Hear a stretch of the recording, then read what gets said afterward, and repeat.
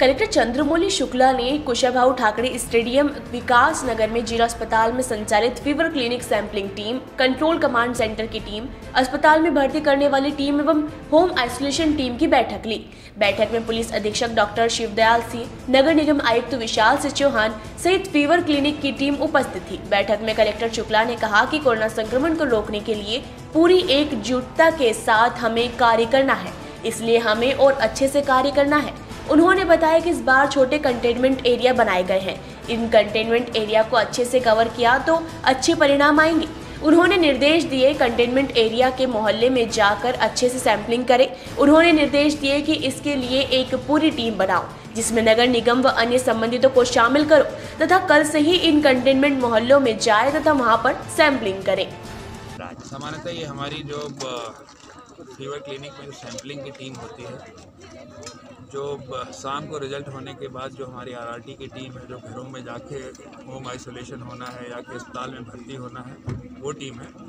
और जो control and command centre में जो होम आइसोलेशन में जो लोग रहते हैं, उनसे जो दिन में दो बार हम बात करते हैं, वो वाली टीम है। सारी टीम्स को एक साथ में बैठ के हमने इसलिए आज बैठक की थी, कई बार ये नोटिस करने में आता है कि जो लोग अपने सैंपल देते हैं, वो कई बार गलत मोबाइल नंबर दे देते हैं, उनका पता पूरा नहीं मिलता तो रात में उनका घर ढूँढने में बड़ी दिक्कत होती है।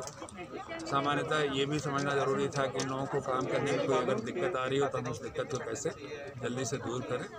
अब कोरोना चूँकि बहुत तेज़ से संक्रमण है, इसलिए हमने तय किया है कि किसी हॉल के अंदर मीटिंग लेने के बजाय हम कोशिश करेंगे कि किसी खुले क्षेत्र में बैठक में दूर दूर सोशल डिस्टेंसिंग का जिससे पालन भी हो ये बड़ा महत्वपूर्ण है। मैं चाहता हूँ कि मीडिया के माध्यम से लोगों को मिले। अभी तक शिकायतें ये आ रही थी कि लोग जिला अस्पताल में जा कर के अपना सैंपल देने में संकोच करते थे।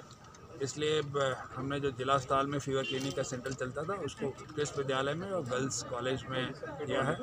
एक नया फीवर क्लिनिक हम बड़ा मॉडर्न सा बना रहे हैं, वो भी तीन चार दिन में चालू हो जाएगा। तो कल से अगर किसी को भी अपना सैंपल कराना है तो जिला अस्पताल जाने के बजाय उत्कृष्ट विद्यालय में या कि गर्ल्स कॉलेज में तो दवाई किट का वितरण दवाई किट का वितरण भी क्योंकि पहले पॉजिटिव आने पर हम दवाई किट का वितरण करते थे। कल से एवं परसों से हम कोशिश करेंगे कि जो आदमी जिसको भी प्रारंभिक सिम्टम्स हैं जो अपना सैंपल कराने आ रहा है उसका हम उसको पहले से ही दवाई दे दें जिससे कि उसकी बीमारी वहीं पर देवास से कैमरा अभिषेक सोनी के साथ राजेश पवार की ये रिपोर्ट।